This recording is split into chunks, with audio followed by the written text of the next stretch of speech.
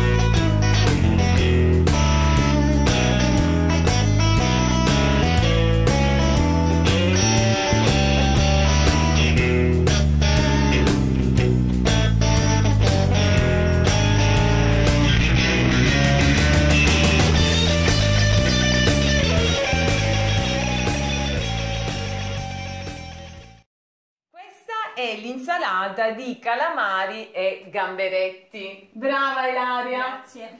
Però dobbiamo assaggiarla. Vai Ilaria!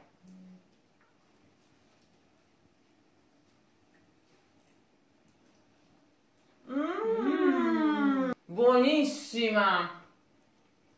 Brava Ilaria! Grazie. Si sente la, il gusto dell'arancia molto molto buona. Provare per credere. Vi lasciamo ricordandovi che anche a Natale Io mangio sano.